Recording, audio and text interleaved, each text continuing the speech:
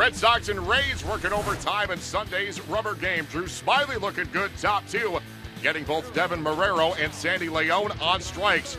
Opposing Smyly, Rich Hill, his season debut and first start since 2009. Facing JP Arencibia, bottom three, it sends it to short. Xander Bogaerts could not handle it. It's ruled a hit. Keep that in mind. Hill goes back to work bottom four, getting both Steven Souza Jr. and Tim Beckham on strikes. It is still scoreless after four. Back to Smyly. Top five getting Jackie Bradley Jr. Smyly ties a career high with 11 Ks on the day. Back to Hill, bottom seven, getting Souza Jr. once again. Then Richie Shaffer goes down. Hill seven scoreless, 10 Ks, and just the one hit given up to Arencibia. This game is scoreless into the 12th. Rays have a threat against Heath Hembree. Two on and one down for James Loney, but Hembree gets him on the inning-ending double play ball.